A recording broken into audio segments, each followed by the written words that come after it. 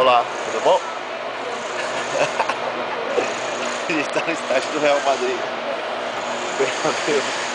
O estádio é muito bonito, mais top que eu já vi, dos vários que eu já fui, claro, né? Confira aí, olha lá. Parte VIP ali, sem noção.